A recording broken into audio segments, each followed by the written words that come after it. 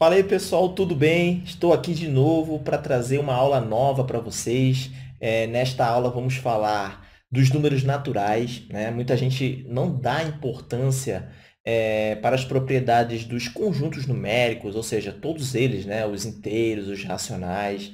E pessoal, essa parte é muito importante para é, compreendermos, para a gente entender bem a matemática básica, principalmente, tá? É, no final desse vídeo eu vou trazer, por exemplo, quatro exercícios para praticarmos bem a ideia do conjunto é, natural, do conjunto dos números naturais. Tudo bem? Então, eu espero que vocês gostem. Deixe aí um feedback do que vocês estão achando do vídeo. Curta o vídeo, compartilhe, se inscreva no canal caso você ainda é, não está inscrito e ative aí o sino para você ficar por dentro do que está acontecendo aqui no nosso espaço. Ok? Então, é, vamos falar agora dos números naturais. Vem comigo, pessoal. Bom, pessoal, e o que seria o conjunto dos números naturais? Pessoal, observe aí na nossa tela. Veja que os números naturais, né, é, eles foram criados para a gente contar. Então, por exemplo, o 0, o 1, o 2, o 3, como, como estão aqui dentro do, é, do conjunto N, e esse conjunto N, perceba que ele é um subconjunto de outros conjuntos. E, claro, eu deixei esses outros é, subconjuntos aqui, ou melhor, esses conjuntos aqui é, que abraçam o N é, meio que apagados, porque o nosso objetivo aqui agora, o nosso foco é o conjunto dos naturais, tá ok? Então, observe que é, se quisermos representar o conjunto dos naturais é, enumerando os seus elementos, a gente poderia escrever assim, ó, pessoal, os naturais são formados por 0, 1, 2, 3, 4, 5 e assim sucessivamente. Para dar a ideia de infinitude, ou seja, de continuidade, é, utilizamos aqui as reticências, tá ok? Então, assim, ó, os naturais, por definição, eles é, são números, olha só, pessoal, são números não negativos e que é, e aqueles que não são que não possuem, ou seja, não são representados na forma decimal. Então, são números não decimais e não negativos. Então, por definição, os naturais são exatamente, né, possuem essa é, característica ou essas características, tá ok? E perceba que quando eu falo não negativo, é, essa expressão não negativo, e isso se estende para os próximos conjuntos, é diferente, pessoal, de positivo. Então, não negativo é diferente de positivo, tá ok? Observem aqui, eu vou é, escrever alguns detalhes. Olha só, pessoal. É, quando eu falo não negativo, é bom escrever isso aqui, pois muita gente se confunde. Então, ó, não negativo, vou colocar aqui, ó, não negativo, é diferente de positivo. Por quê, professor? Olha só, se eu falasse positivo, números positivos, é, eu estaria aqui excluindo o zero, porque o zero ele é nulo. Então, o zero não entraria nessa, nessa característica aqui. Quando se eu falasse que os naturais são números positivos, o zero estaria é, excluído, não faria parte desse conjunto, tá ok? É claro que existe um subconjunto natural positivo, isso aí vai ser tópico ainda dessa aula, mais à frente, mas eu gostaria de chamar a atenção porque isso aqui é muito importante, tá? Diferenciar não negativo de positivo. Então, os naturais são números não negativos, porque a gente inclui o zero, que é um elemento nulo, ele não é nem positivo nem negativo, e também os números positivos. Então, zero mais os positivos formam o, e não é, decimais, né? os números não decimais, formam é, os naturais, tá ok? Quando eu falo decimal, por exemplo, o número 1,25 é um número decimal, né? É um número decimal que possui duas casas decimais. Então, depois do, da vírgula. Se tivermos aqui é, a quantidade de números que aparecer aqui, formam a quantidade de casas decimais que esse número possui. Né? Lembrando, isso aí vai ser um tópico de uma outra aula, se incluirmos zero aqui depois dessa vírgula, né, depois da, dos algarismos é, que possuem um peso, então o zero ele não seria contado aqui para as casas decimais. Mas isso aqui não é tópico dessa aula, é, só lembre que quando eu falo de números decimais, eu estou falando desses números, inclusive frações, né? Frações que dão resultados quebrados, tá ok? Então, é, ou decimais. Aqui a gente teria um exemplo de um número com duas casas decimais, é o 0,1, por exemplo, é um número com uma casa decimal. Uma dízima periódica, por exemplo, pessoal, 1,444 com reticências aqui, pois continua. Isso aqui é um número decimal com infinitas casas decimais. Tá ok? Então, essa é uma ideia geral dos números naturais. Lembrando, e isso aí já foi tópico de prova, que todos os números naturais possuem um sucessor. O que seria um número sucessor? O sucessor de um número é aquele número que está à frente dele uma casa ou uma unidade, tá ok? Com uma unidade a mais. Então, por exemplo, o 1 é o sucessor de zero, porque zero mais uma unidade é igual a 1. Quem é o sucessor de 1? É 1, o próprio 1, somado de uma unidade, ou seja, seria o 2. O sucessor de 2 é o 3 e assim sucessivamente. Observe, observe com muito detalhe que todo número natural possui um sucessor, mas nem todo natural possui um antecessor. Pessoal, quem é o antecessor de 5? É o 4. Por quê? Quando eu calculo o sucessor, eu somo com uma unidade. Se eu quiser encontrar o antecessor, eu subtraio. Então, o antecessor de 5, por exemplo, o antecessor dele seria ele mesmo menos uma unidade. Então, 5 menos 1 é 4. Então, o antecessor de 5 é 4. Se eu quiser generalizar, se eu disser assim, ó, que x é um número natural, então pertence ao natural. Quem é um antecessor de x? Pessoal, na matemática, quando a gente quer generalizar, utilizamos uma letra qualquer. Tá? É comum utilizarmos o x.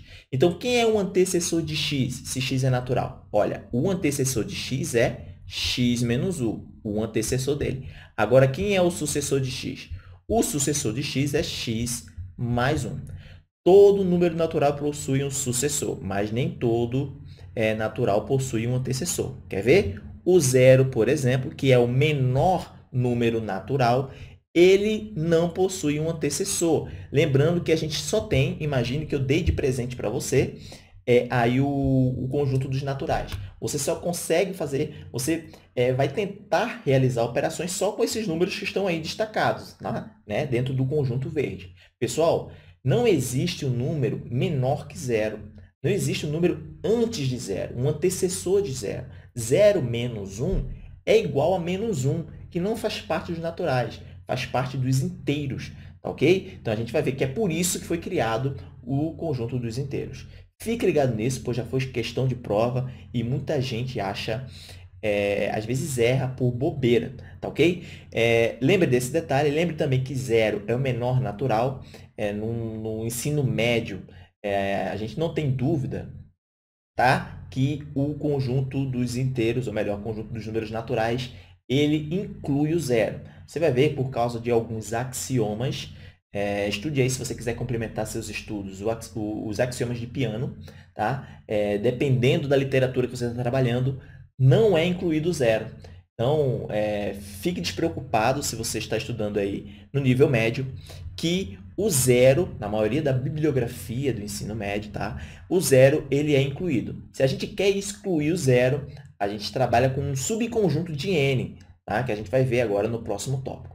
Tá ok, pessoal? Então, é, fique ligado aqui nesses detalhes, pois isso aqui é muito importante para a gente, tá ok? Então, é, lembrando, né? É, que os números naturais são não negativos, porque a gente inclui o zero. Tudo bem, pessoal? Vamos lá. Vamos aqui para a próxima etapa.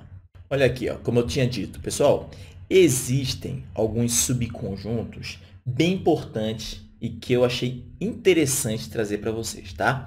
O primeiro deles aqui é o conjunto dos números positivos. Lembrando que a gente está trabalhando em n, certo? Então, é, considere apenas é, o conjunto dos números naturais. Eu sempre deixo aqui esses outros conjuntos para você entender a imensidão é, do conjunto dos números reais. Primeiro, a gente está trabalhando nos naturais. Pessoal, o conjunto dos números é, positivos, sendo natural, claro, ele seria formado por quem? Como é que a gente representa? Olha só, a gente representa ele pela letra N de natural com um asterisco aqui em cima, pessoal. Esse asterisco aqui, né, lembrando, ele também faz parte dos outros é, conjuntos numéricos aqui, tá ok? Esse asterisco significa que a gente exclui o zero, ou seja, o zero não faz parte dele. Então, quem seriam os naturais é, positivos, aqueles que não inclui, que não incluímos aqui o zero. Então, seria quem? O 1, o 2, o 3, o 4, o 5 e assim sucessivamente. Observe que o conjunto é, é o natural apenas retirando o zero. Para todo conjunto numérico que aparecer esse símbolo aqui, lembre que o zero não faz parte dele. Então, aqui sim seriam, né? Então, se o livro quiser trazer para você que o zero ele não faz parte dos naturais, ou melhor, que o zero não faz parte do conjunto que você está trabalhando, que pode ser o natural, aí é, o asterisco vai aparecer para excluir o zero, tá bom? Então, fique ligado nesse detalhe, é, pois você pode se confundir com esse símbolo aqui e ele vai aparecer nos próximos conjuntos também. Pessoal, conjunto dos números pares. Eu fiz questão de trazer, pois parece ser óbvio, né? mas muita gente ainda confunde, é por isso que eu trouxe aqui. Quem são os números pares? Lembrando que a gente está trabalhando no natural. Tá? Quem são, quem forma os números pares? Pessoal, os números pares eles são formados por todos os números é, múltiplos de 2 dos naturais. Por exemplo, vou pegar aqui o natural, colocar aqui ó, ao lado os números naturais. Eles são formados por quem? Por 0, 1, 2, 3, 4 e assim sucessivamente. Pessoal, se pegarmos aqui todos os múltiplos, ou seja, pegar o 2 e multiplicar por todos os elementos de n, encontramos o conjunto dos números pares. Então, 2 vezes 0, 0 também entra na conta, 2 vezes 0 é 0. É por isso que 0 é par, porque 2 vezes 0 é 0. 2 vezes 1 é 2, então 2 é par. 2 vezes 2 é 4, 4 é par. 2 vezes 3 é 6 e assim sucessivamente. Pegamos o, do, o, dois, o número 2 e multiplicamos por todos os elementos de n. Então, o par, todos os números pares naturais, eles são é, os múltiplos de 2, elevando aqui, ou melhor, levando em consideração os naturais.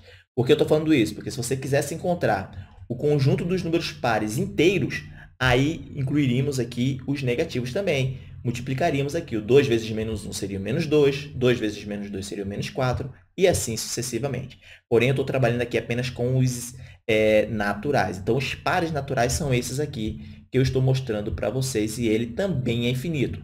Já que o natural é infinito, é um conjunto infinito, então os pares também são infinitos. Beleza, pessoal? E é, eu gostaria de trazer para vocês aqui, e isso é muito e muito importante, porque existem problemas que só com essa sacada o aluno resolve, né? E que sacada seria essa? Galera, o conjunto dos números pares, se eu quiser generalizar, como é que eu encontro é, um número par? O que, é que eu faço? Eu chamo n de um número par. n é um número qualquer n do, de, de, dos números naturais, né? n pertence ao conjunto dos números naturais, isso eu chamo primeiro. Tá? E o que, é que eu falo? P, os números pares, é formado por 2, o produto entre 2 e n, sabendo que n são todos os números é, naturais. Então, quando eu falo isso, que n pertence aos naturais, qualquer multiplicação por 2 forma o conjunto dos números pares. Isso aqui é muito importante, pois existem problemas que resolvendo, ou seja, generalizando dessa forma, a gente consegue resolver. Tá ok? Da mesma forma, o conjunto dos números ímpares. Como é que a gente encontra o conjunto dos números ímpares? Galera, os números ímpares, se você for perceber, seriam todos os sucessores de cada elemento dos números pares. Concorda comigo? Então, por exemplo, quem é o sucessor de 0? É o 1. Quem é o sucessor de 2? É o 3. O sucessor de 4 é o 5. O sucessor de 6 é o 7. E assim sucessivamente. Ok? Então, os números ímpares são os sucessores dos números pares. Isso lembrando que a gente está trabalhando com os naturais, tá ok? E se quisermos generalizar isso, olha só que legal, pessoal. Dentro dos naturais, os sucessores, ou melhor, generalizando os ímpares, é, você deve concordar comigo que seriam é, todos os pares, lembrando que n é par, todos os pares mais 1, ou seja, todos os sucessores de par, dos pares. Então, eu posso pegar aqui ó, 2 vezes n, que é par, todos os pares mais 1. Com essa expressão aqui, eu generalizo, ou seja, eu posso encontrar qualquer número ímpar. Eu generalizo todos os números ímpares. Eles podem ser escritos dessa forma aqui. Olha só que legal. E lembrando que n é um número par. Eu tenho primeiro que chamar, é, dar um valor a n, ou dar uma característica para n. Eu estou dizendo que n faz parte do natural. N é natural. Então, se você pegar 2 e multiplicar por n, você encontra um número par, independente do n. E se você pegar um par e somar com uma unidade, você está encontrando aí um sucessor de um par, que é um ímpar. E com isso, generalizamos todos os ímpares. Tá vendo, pessoal? Olha o detalhe que tem é, essa explicação, tá? Fique ligado nisso, pois, dependendo do problema, essas expressões serão muito importantes para você. Tá ok?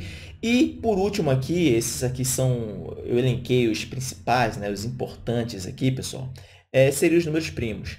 Quem são os números primos? Pessoal, os números primos, vou colocar aqui, ó, os números primos, são todos os números, lembrando, né, os números primos naturais, são todos os números que possuem dois divisores. Olha só a definição, dois divisores. Isso aqui é muito importante. Se eu estou trabalhando com os naturais, dois divisores.